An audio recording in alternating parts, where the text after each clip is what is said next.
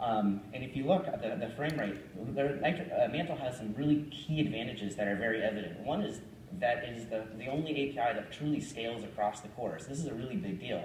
We can now tell a consumer, hey, you can buy a four-core and eight-core uh, CPU that's clocked lower potentially, and you're going to get the same performance. We've never been able to see or get demonstratability of this um, in any other graphics API.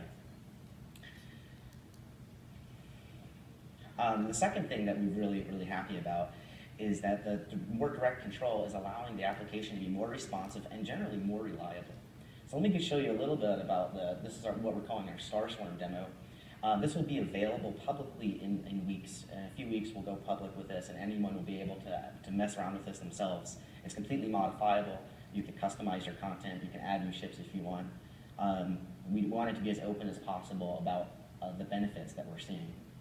So the nitrous engine here is, is actually simulating over 5,000 independent spacecraft.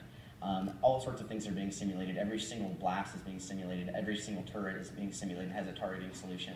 And you can actually see in the UI down there, it's, it's telling you uh, all the different gameplay logics. This isn't, uh, this is a full system test of the entire CPU and uh, graphic system. Thanks, Dan. Um, it's, it's, great. I had see a dropped frame. Uh, we never see unexplained glitches. And the other really uh, uh, exciting thing to us is very clear for us. If there is a CPU issue, where it's going. When we are when we're using Direct3D, it's very difficult. So the other thing, Dan, you mentioned to me uh, yesterday is uh, the interesting uh, power measurements